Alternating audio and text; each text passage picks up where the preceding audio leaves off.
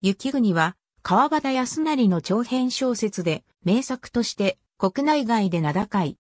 雪国を訪れた男が温泉町でひたむきに生きる女たちの所相、揺らめき、定めない命の各瞬間の純粋を見つめる物語。愛し生きる女の情熱の美しく悲しいとろうが男の虚無に研ぎ澄まされた鏡のような心理の叙情に映されながら美的に抽出されて描かれている。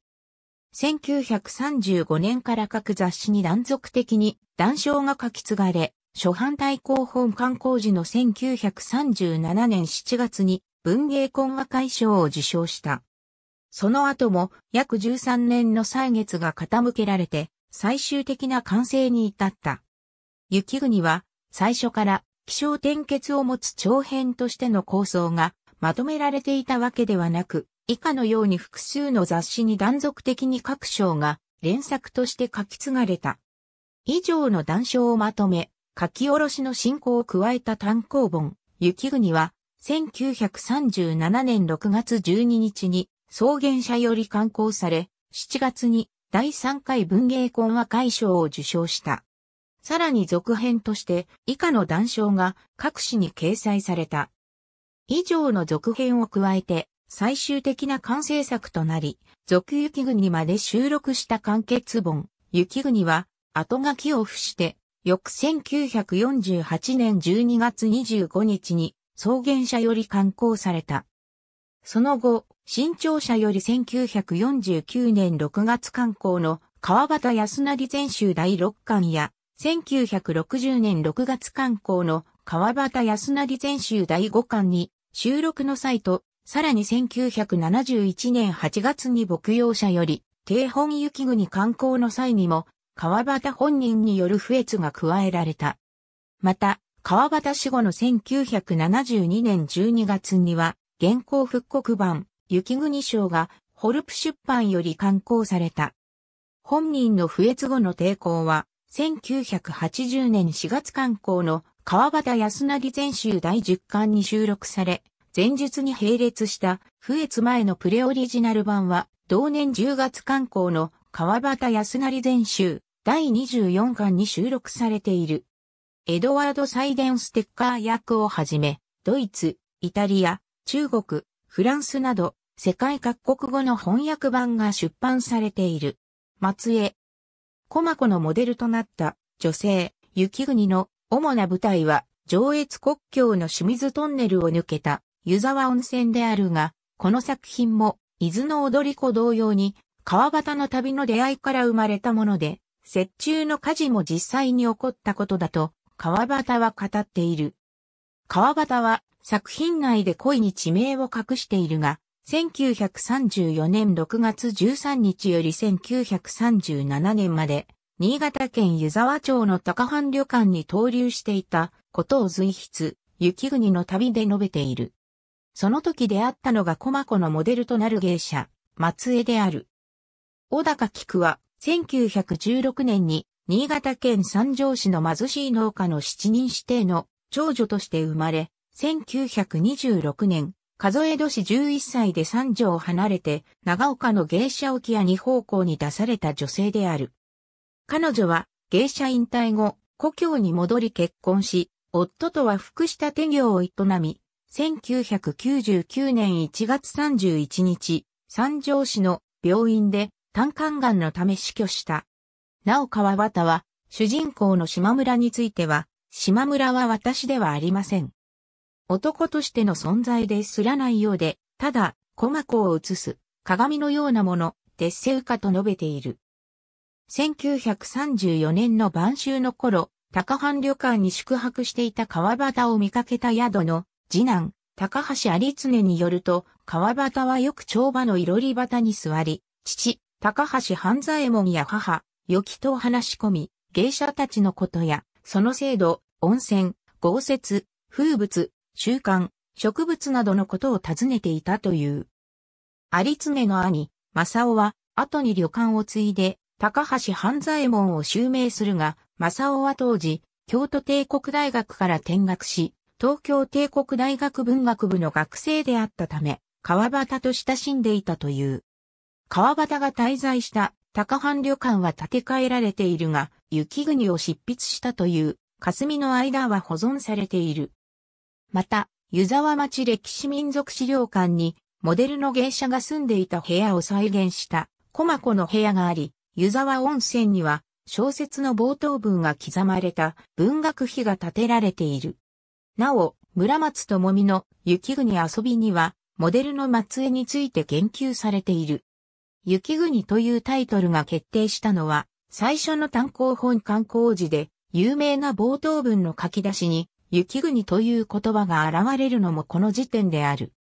書出紙版の遊下式の鏡での冒頭文は、当初、国境のトンネルを抜けると、窓の外の夜の底が白くなったとなっており、その前段にも文章があったが、単行本観光時に削除開講された。また、続編の雪中火事には、鈴木牧師著、北越切符からの引用や参考にした文章もある。また、作中の時系列が作者の錯誤により統一されていない部分があることが何人かの研究者に指摘されているが、その不統一も強くの純不動の手法によって多くの曖昧さが許されている仕組みになっているという見方と、あえて川端が実際の期間よりも長い年月が経ったように作品世界を提示しているという見方もある。12月初め、島村は雪国に向かう汽車の中で、病人の男に付き添う恋人らしき、若い娘に興味を惹かれる。島村が降りた駅で、その二人も降りた。旅館に着いた島村は、芸者の駒子を呼んでもらい、朝まで過ごす。島村が駒子に出会ったのは、去年の新緑の5月、山歩きをした後、初めての温泉場を訪れた時のことであった。芸者の手が足りないため、島村の部屋にお酌に来たのが、三味線と踊り、見習いの19歳の駒子であった。次の日、島村が女を世話するよう頼むと駒子は断ったが、夜になると寄った駒子が部屋にやってきて、二人は一夜を共にしたのだった。駒子は、その後間もなく、芸者になっていた。昼、冬の温泉町を散歩中、島村は駒子に誘われ、彼女の住んでいる踊りの師匠の家の屋根裏部屋に行った。昨晩車内で見かけた病人は、師匠の息子、幸男で、付き添っていた陽子は、駒子と知り合いらしかった。幸男は、超結核で長くない命のため帰郷したという。島村は、あんまから、駒子は、幸男の言い名付けで、治療費のため芸者に出たのだと聞かされるが、駒子は否定した。島村は温泉宿に滞在中、毎晩駒子と過ごし、読書したという三味線の音に感動を覚えた。島村が帰る日、幸男が既得だと陽子が知らせに来るが、駒子は死ぬところを見たくないと言い、そのまま島村を駅まで見送った。翌々年の秋、島村は再び温泉宿を訪れた。去年の2月に来る約束を破ったと駒子は、島村をなじる。あの後、幸男は亡くなり、師匠も亡くなったと聞き、島村は嫌がる駒子と墓参りに行った。墓地には陽子がいた。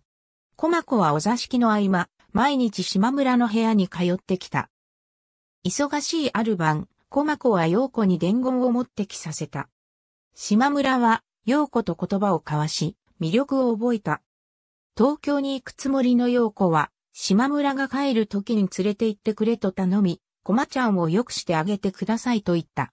陽子は死んだ幸男をまだ愛しているようだった。駒ちゃんは、私が、気違いになると言うんですと陽子は泣きながら言った。陽子が帰った後、島村はお座敷の終わった駒子を、沖山で送ったが、駒子は再び、島村と旅館に戻り、酒を飲む。島村が、いい女だと言うと、その言葉を誤解し、怒った駒子は、激しく泣いた。島村は、東京の採取を忘れたように、その冬も温泉場に投留を続けた。天の川のよく見える夜、映画の上映会場になっていた眉荘が火事になり、島村と駒子は駆けつけた。人垣が見守る中、一人の女が眉荘の2階から落ちた。落ちた女が陽子だと分かった瞬間にはもう地上でかすかに痙攣し、動かなくなった。駒子は駆け寄り、陽子を抱きしめた。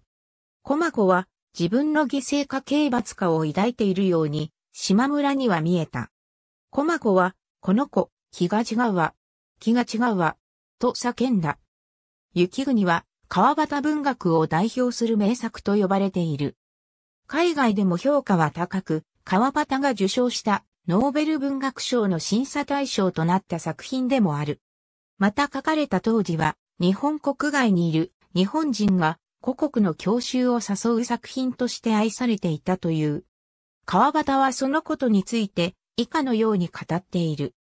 私の作品のうちでこの雪国は多くの愛読者を持つた方だが、日本の国の外で日本人に読まれた時に海峡の女王人しをそそるらしいということを戦争中に父た。これは私の自覚を深めた。川端康成、後書き、毒影寺命、作品次回に再録、小林秀夫は、火の枕の章が発表された時点で、作品の主張を形成しているものを、川端の叙情性として、その本質を以下のように解説している。ここに描かれた芸者等の死体も、主人公の虚無的な気持ちに交渉して、思いもかけぬ光を上げるという仕組みに描かれていて、この仕組みは、死の作品のほとんどどれにも見られるもので、これはまた死の実生活の仕組みであるのだ。川端氏の協定は、実に冷たく、ガランドなのであって、実に珍重すべきガランドだと僕はいつも思っている。死はほとんど自分では生きていない。他人の生命が、このガランドの中を一種の光を上げて通過する。だから死は生きている。これが死の生々しい叙情の生まれるゆえんなのである。作家の虚無感というものは、ここまで来ないうちは、本物とは言えないので、やがて覚めねばならぬ夢に過ぎないのである。小林秀夫、作家の虚無感、川端康成の火の枕、伊藤聖は、雪国の叙情の道を通って、潔癖さに至り、真理の厳しさの美をつかむという道という美の精神は、枕草子や徘徊などの脈に通じているとし、その日本の叙情の古典は川端の雪国において新しい現代人の中に虹のように完成して中空にかかったと評している。そして雪国の随所や集結部に見られる微妙な描写の特徴的な手法は現象から省略という手法によって美の頂上を抽出するという仕方をとっているため、初歩の読者はそこに特有の難解さを感じ、進んだ読者は自己の人間観の汚れを残酷に突きつけられる。そういう点からは大変音楽的な美しさと厳しさを持っていると解説している。福田和也は雪国を20世紀10大小説の一作、ヨーロッパの世紀末文学の理想、ボードレールやワイルド、リラダンが求めて果たさなかったデカダンの理想を実現してしまった作品だと評し、以下のように解説している。デカダンスにはいろいろな見方があると思いますが、近代的人間性を徹底的に否定する inhumanity、その残酷さが持っている美を極限まで推し進めるとあの小説の世界になるのだと思いますね。主人公の設定もそうですし、それから自然の描写ですね。人間性をはっきり拒絶したところから出てくる自然を描いていて、メタリックと言ってもいいような突き抜けた力があって、ニヒリズムすら必要としない無情さが溢れている。これは本当に恐ろしい作家がいるという感覚を持ちました。福田和也、本人もコレクションも恐ろしい三島由紀夫は、雪国の冒頭の記者の窓ガラスの繁栄描写を、川端文学の反現実的な怪しさが一つの象徴として輝いているとし、それはあたかも哲学書の序論で各種の哲学用語が定義されているように前編の序曲となり、この作品の中における人物、風景、自然、事件が何であるかがあらかじめ提示され、密かに答え尽くされていると説明している。そして前編を読了した後に気づく、その序曲の意味について三頭は、作中の人物たちが不思議な鏡の中で夢のからくりのように眺められる存在で、読者や島村に悲しみを見ているという辛さを与えず、作中の風景は有景色の鏡の非現実な力の支配下にあり、作中の事件も火事で陽子が2階から転落しても、汽車の窓に反映した。陽子の顔に火が灯ったのと同様の人間と自然とが継ぎ目なく入り混じる。静かな奇跡の瞬間に他ならないことだと。解説している。さらに、その陽子の失神した姿を見る島村が、島村はやはりなぜか死は感じなかったが、陽子の内生命が変形する、その移り目のようなものを感じたと表現されていることに三島は、触れ、以下のように解説している。定めない人間の命の各瞬間の純粋持続にのみかけられたようなこの小説にもし主題があるとすれば、この一句の中にある。それは女の内生命の変形の微妙な記録であり、炎がすつと頬を伸ばすようなその移り目の瞬間のデッサンの修正である。コマコもヨーコもほとんど一貫した人物ですらない。一性格ですらない。彼女たちは潔癖に生命の所相、その揺らめき、そのときめき、その変容の木は、どい瞬間を通してしか描かれないのである。作中に何度か現れる、トローという言葉は、こうして無目的に浪費される性の姿の危険な美しさに対する反語である。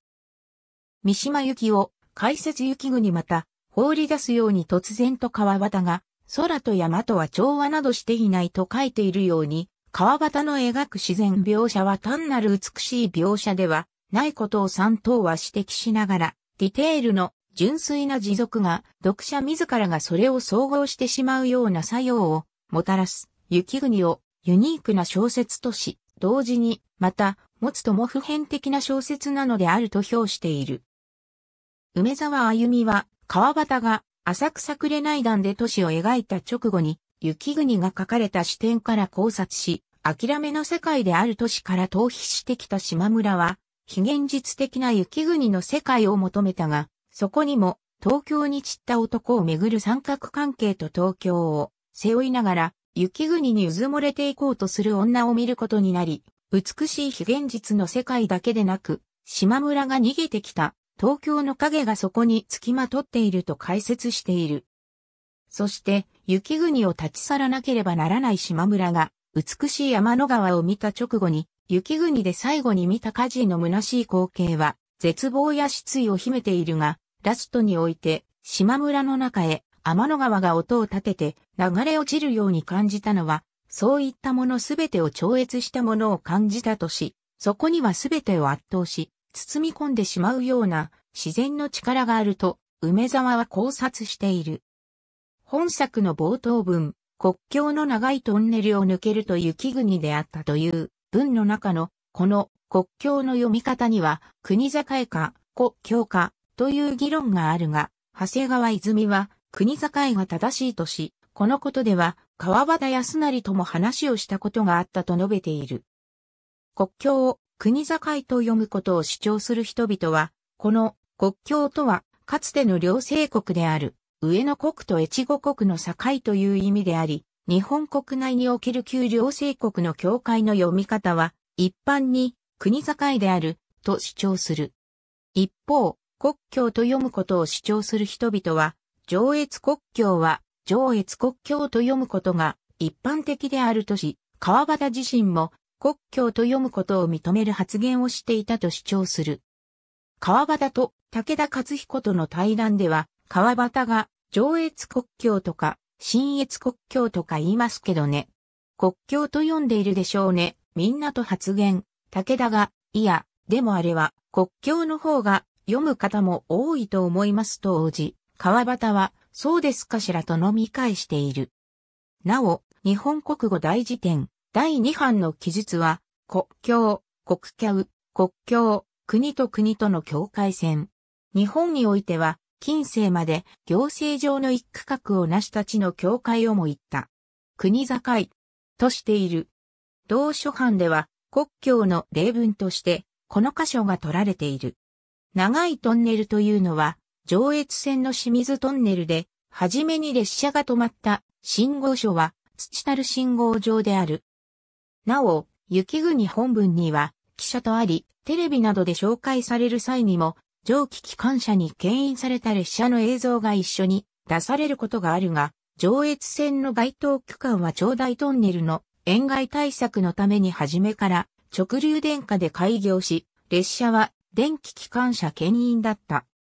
清水トンネルがある指曽駅、土樽駅間を伏線にする際、新清水トンネルが切削され、1967年より下り専用として供用を開始したため、旧来の清水トンネルは上り専用となった。そのため、現在、川端が執筆した当時の清水トンネルを抜けて雪国を訪れることはできない。かつて、上越線には、この小説から愛称を取った急行列車、雪国が運行されていた。川端の死後、書斎から雪国章1、2と題された自筆のノート2冊が見つかった。末尾には昭和47年1月2月書くと記されており、最晩年に書かれたものである。雪国の前半部分を短縮した内容となっており、コマコが登場するものの、その名はただ、女に書き換えられている。雪国章は、後に移行として出版されている。雪国に関するカテゴリー、雪国に関するカテゴリ、雪国に関するカテゴリ、雪国に関するカテゴリ。ありがとうございます。